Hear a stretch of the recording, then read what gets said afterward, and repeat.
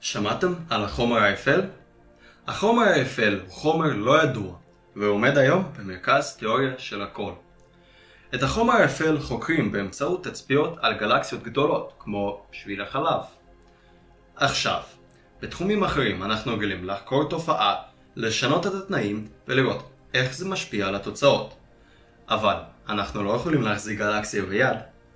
בגלל זה, במעבדה של פרופסור אבישי דקל מהאוניברסיטה העברית, אנחנו חוקרים את הגלקסיות הלווייניות באמצעות הדמיה במחשב, סימולציות.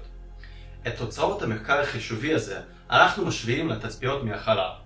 אנחנו רוצים להבין את תופעת התפתחות הגלקסיות, ועם זה להגיע להבנה שלמה של היקום. במחקר שלי התבוננתי בהתפתחות הגלקסיות הלווייניות. סיווגתי אותן על פי הדרך בה הן מתפתחות. השתמשתי בטכניקות למידת מכונה כדי למצוא החוקיות.